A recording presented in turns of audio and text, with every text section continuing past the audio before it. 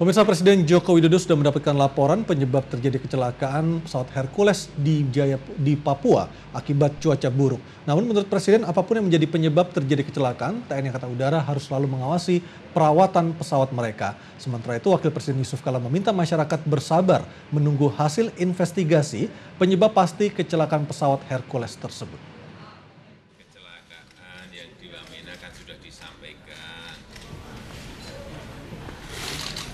Oleh Kepala Staf Angkatan Udara.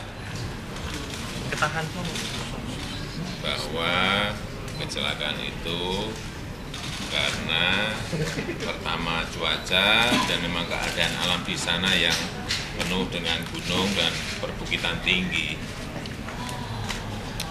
Tetapi sekali lagi apa pun yang namanya pemeliharaan, maintenance pesawat-pesawat memang harus selalu dijaga, selalu diawasi.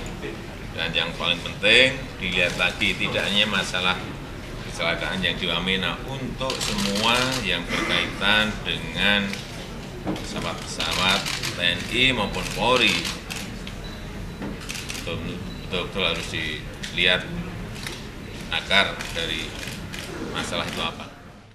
Sudah dijelaskan berkali-kali oleh Pak KSAU dan Wakasau, ya lagi diteliti anunya masalahnya, apakah manusianya, apakah eh, pesawatnya, cuacanya, kita tunggu aja. Itu pesawat begitu bisa tahan 50 tahun, asal selama di refit, refit rotip.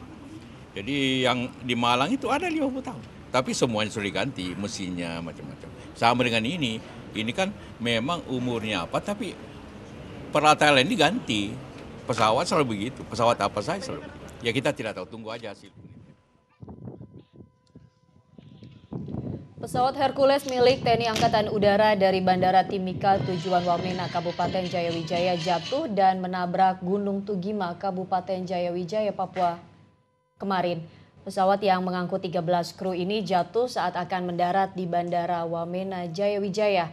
Seluruh kru pesawat tewas dalam insiden ini. Sebelumnya pesawat dikabarkan hilang kontak dengan menara pemantau di Bandara Wamena pada pukul 6 lewat 9 waktu Indonesia Timur. Panglima Komando Operasi Angkatan Udara 2 TNI Angkatan Udara Marsda TNI Umar Sugeng Haryono mengatakan pesawat tengah melaksanakan misi penerbangan latihan navigasi dan dukungan logistik pemerintah daerah di wilayah Papua.